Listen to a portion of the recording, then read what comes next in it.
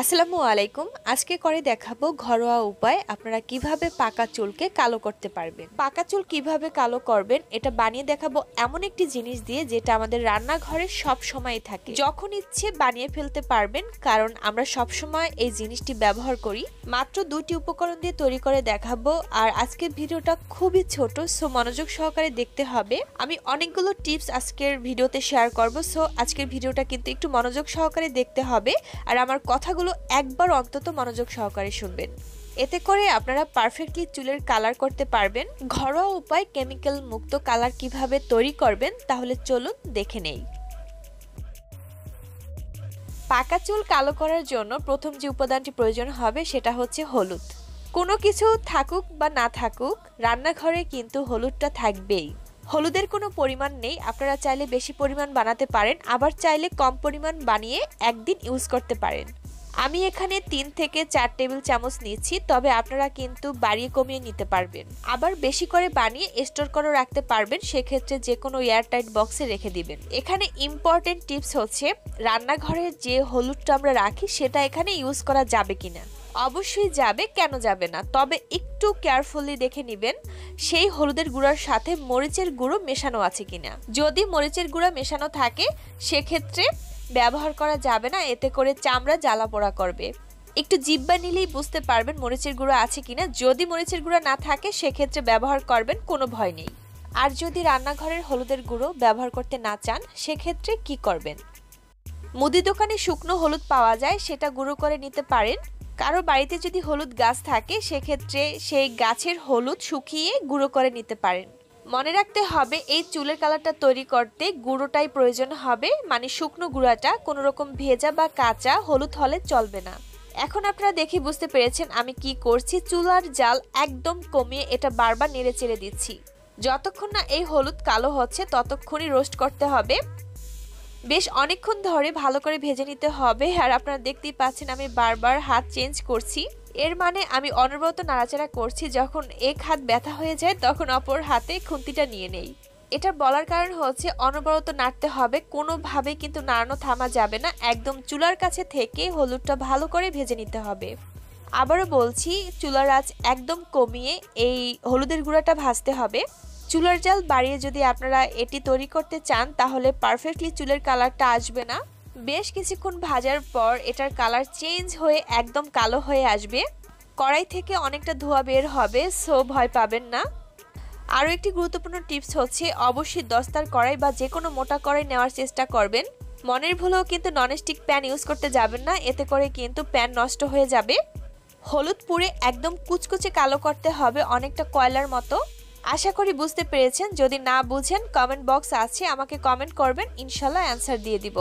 কীভাবে ব্যবহার করবেন, কি মেশাবেন, কতটুকু ব্যবহার করবেন, কয়দিন ব্যবহার করতে হবে সব কিছু একটু পরেই বলে দিচ্ছি। ভাজাটা একটু সময় করে দেখাচ্ছি, কারণ আপনারা যেন পারফেক্টলি এর গুঁড়াটা ভেজে নিতে পারেন। কারণ চুলের কালার কতটা কালো আসবে, এটা অনেকটাই নির্ভর করে এই জিনিসটার ওপর। সো ভিউয়ার্স ভাজা শেষ, একদম কুচকুচে কালো হয়ে গিয়েছে, তাহলে চলে যাচ্ছি পরবর্তী স্টেপে হলুদের গুঁড়োটা ভালো করে ঠান্ডা করার পরে একটি বাটির মধ্যে নিয়ে নিতে হবে। এর মধ্যে আরও একটি উপাদান মেশাতে হবে যেটা এটার জন্য খুবই গুরুত্বপূর্ণ।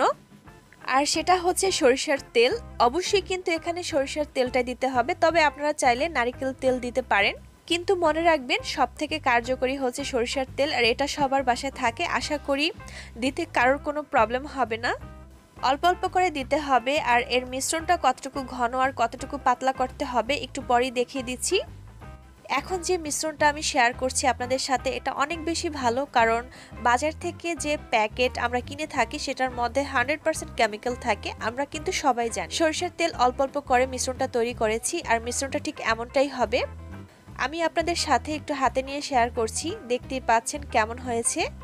এটা ওয়াশ করার পরও হাতে লেগে থাকবে। আমি একটু ওয়াশ করে আপনাদের হাতটা দেখাচ্ছি। পানিতে ওয়াশ করার পরও কালারটা হাতে লেগে আছে, তো এটা সাবান দিয়ে হাতটা পরিষ্কার করতে হবে। চুলে কীভাবে অ্যাপ্লাই করতে হবে তাহলে চলুন সেটি দেখিয়ে দিচ্ছি। এই পর্যায়ে একটু হাসি পাচ্ছে, তো আমি চুলে কালার করার জন্য আমার শ্বশুরের টাক মাথাটাই নিচ্ছি। কিছু করার নাই, আমার বাসায় একমাত্র সাদা চুল আমার শ্বশুরেরই আছে। তবে আমি অনেক খুশি ভাবি নেই যে উনি ভিডিও শ্যুট করতে দেবে, খুব আগ্রহ সহিত আমাকে হেল্প করেছে। একটি ব্রাশের সাহায্যে অ্যাপ্লাই করছি, যেহেতু এটায় কোনো কেমিক্যাল নেই, আপনারা চাইলে হাত দিয়েও অ্যাপ্লাই করতে পারবেন। একটু পুরো করে অ্যাপ্লাই করবেন আর মনে রাখবেন এমন পরিমাণটা আপনারা হলুদের গুঁড়ো ভাজবেন যেটা পরাপর তিন দিন অ্যাপ্লাই করতে পারেন। এটা সত্যি কথা, এই কালারটা কিন্তু চুলে বেশি দিন থাকবে না আর আপনাদের পরাপর তিন চার দিন অ্যাপ্লাই করতে হবে। আপনারা দেখে বুঝতে পেরেছেন, এটা হলুদের গুঁড়া দিয়ে জাস্ট করেছি কোনো রকম কেমিক্যাল ছাড়া। তো আপনারা যদি এই মিশ্রণটা দৈনিক মাথায় অ্যাপ্লাই করেন, তা তো আপনাদের চুল পেকে যাওয়ার কোনো চান্স থাকবে না। অনেক সময় আমাদের মাথায় অল্প চুল পাকা থাকে সো কালার যদি ইউজ করা হয় বাজারের, এতে করে পুরো চুল পরবর্তীতে পেকে যায়। এই ধরনের ভয় এই মিশ্রণটায় থাকবে না। আজকে যদি অ্যাপ্লাই করেন, পরের দিন মাথা ওয়াশ করবেন, তবে কোনো রকম শ্যাম্পু বা সাবান ব্যবহার করা যাবে না। তার উপরে যদি আপনারা আবার অ্যাপ্লাই করেন, তাতে করে ভালো হবে। কোথাও যদি কখনো বের হন বা কোনো বিয়ে শাদিতে যান, এইভাবে মাথায় লাগিয়ে যাবেন, কোনো রকম বাজার থেকে কলপ ইউজ করবেন না।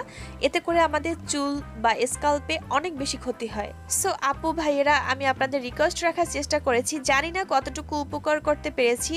যদি উপকার হয়, তাহলে অবশ্যই কমেন্ট করে জানাবেন। আবারও বলছি, যেহেতু ঘরোয়া উপাদান দিয়ে তৈরি করেছি সো এটা বেশি দিন থাকবে না। পরে আমার উপরে কিন্তু রাগ করা যাবে না। যাদের ভালো লাগবে ট্রাই করে দেখবেন। আশা করি একটু হলেও উপকারে আসবে। যেহেতু হলুদ আর সরিষার তেল দিয়েছি এটা আমাদের চুলের জন্য অনেক ভালো। আমাদের চুল মজবুত এবং সিল্কি করতে সাহায্য করে। অনেক বকবক করেছি সো আর বকবক করতে পারব না। আজকের ভিডিওটা কেমন লেগেছে অবশ্যই কমেন্ট করে জানাবেন। আর কোন টপিকের ওপরে আপনারা ভিডিও চান সেটাও কমেন্ট করে জানাবেন। ভিডিওটি অবশ্যই শেয়ার করবেন। কারণ মনে রাখবেন, আপনার একটি শেয়ার হয়তো অনেকেরই উপকারে আসবে। ফেসবুক পেজ লাইক ফলো দিতে ভুলবেন না। আর ইউটিউব চ্যানেল সাবস্ক্রাইব করার জন্য অসংখ্য ধন্যবাদ। ভালো থাকবেন সবাই। আল্লাহ হাফেজ।